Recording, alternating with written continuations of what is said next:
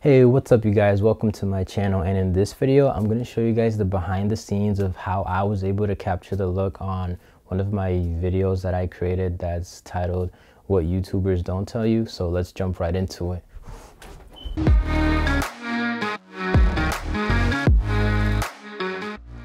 Alright guys, so first things first, you want to do when you're creating an interview, sit down interview, you kind of want to like look around. Unfortunately, this room is not that big and I didn't want to use the white wall so I was able to use these curtains that my brother has here kind of as like a backdrop.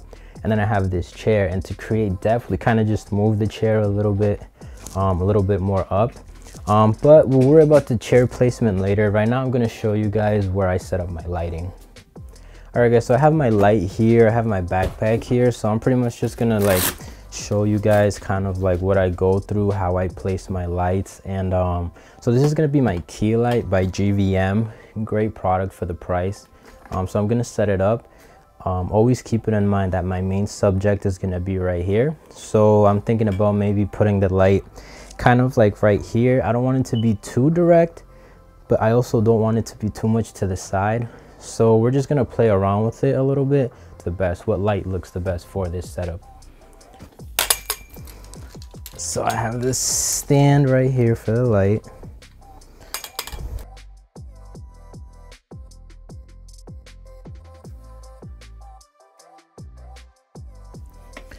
I also apologize for the really bad lighting, but this just goes to shows that that lighting will make a big difference in your videos.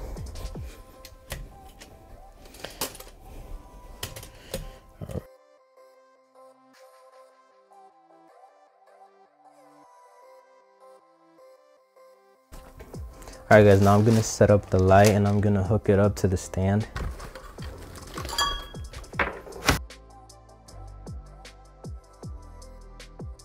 Oh, just remember your subject is gonna be down here, so you kind of want the light shooting kind of diagonal to them. So, and then you use this to like, you know, to tighten it up. Right, that's good. Now for some lights, it's good if you have some counterweight, but for this light, I feel like it's pretty much decent on its own, so I'm not gonna add more, more counterweight to it. So I'm just gonna push it up a little bit more. And one thing to know is I always like to keep, if the light is facing this way, I want the stand to like have like something to recline on. So you see kind of it's not parallel. So we just fix that a little bit and we keep it like that. I'm gonna get the softbox for it, which I have back here. Ideally, the softer, the bigger the softbox, the more smooth the light will be, but this will do.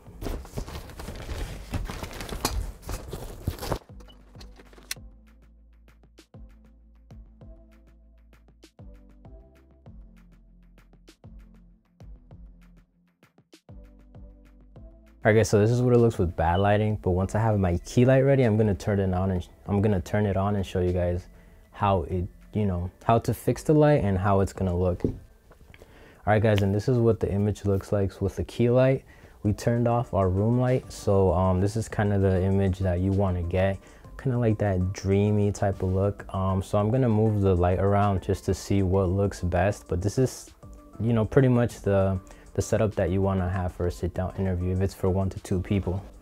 All right, so the second thing you wanna do is uh, get a tripod and place your camera um i moved the light here because this is our only source of light right now. So just bear with us until we fix it up. But you pretty much want to have um so you're gonna have two cameras. You're gonna have your main camera right here and you're gonna have your second camera with a tighter focal length onto the side. Um but we'll go through it and i'll show you guys how i set it up. So we're gonna set up the tripod right now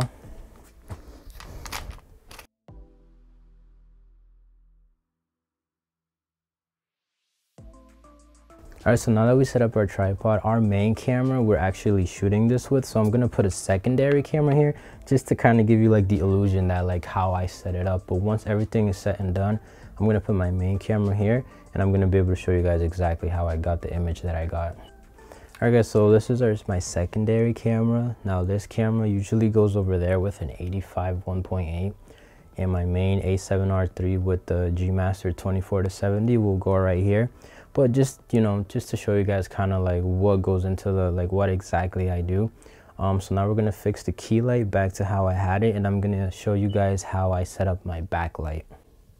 Alright guys, so now what I'm gonna do is I'm gonna try to show you guys how I would fix this lighting. So luckily the A6400 has a flip screen.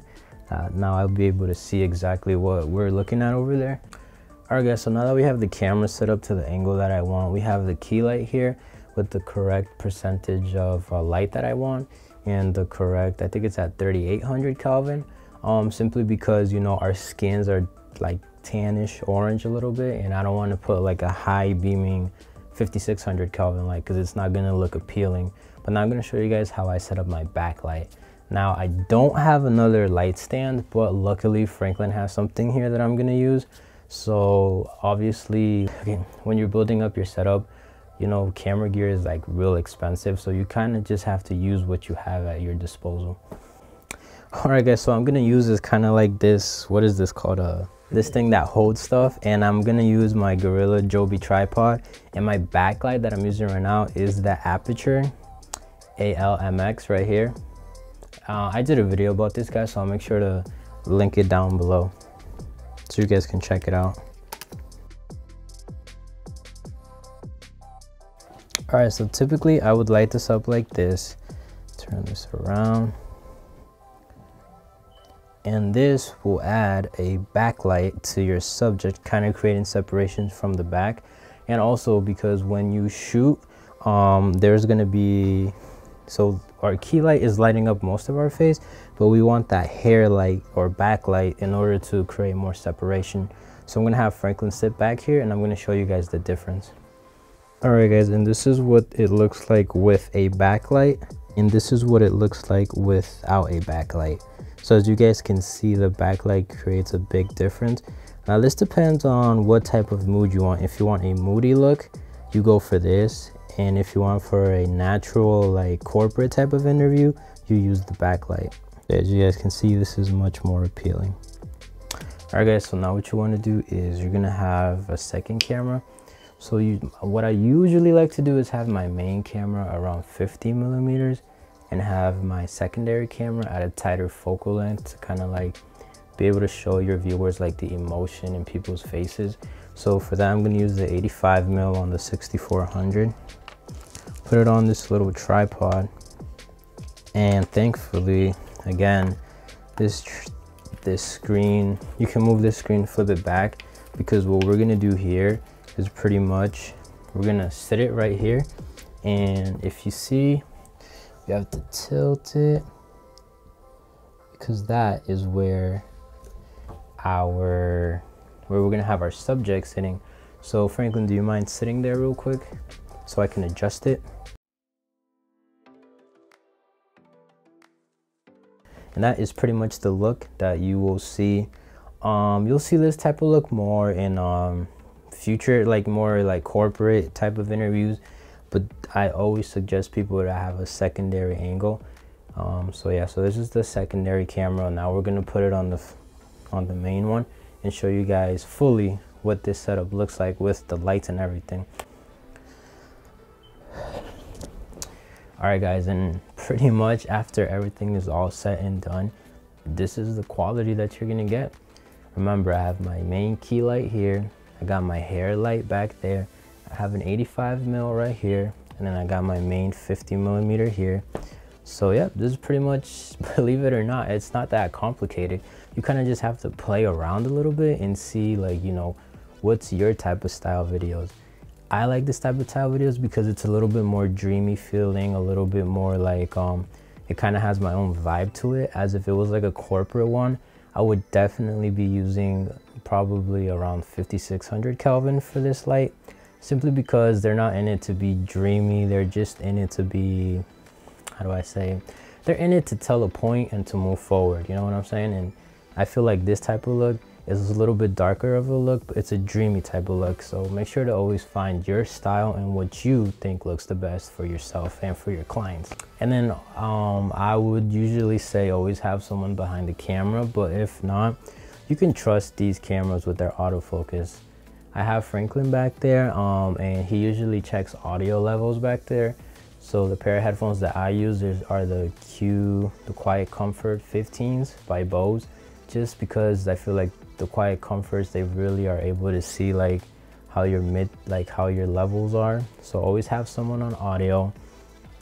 And always, I, I prefer for you to have somebody back there, but hey guys, this is pretty much the end of the video. So if you guys have any questions about the gear that I use, how much it costs, or any video or photography needs, make sure to leave me a comment down below or hit me up on Instagram. And um, yeah, just know that I'm available to do a sit down interview for you like this if you want, if you're in the Boston area. And also if you're, if you're looking for portrait photography, I'm also available for that. So just shoot me a DM on my Instagram. But other than that, this is pretty much the end of this video. I hope you guys got a ton of value out of it and let me know if I should be making more cool videos like this for you guys. So I'll see you in the next one. Peace.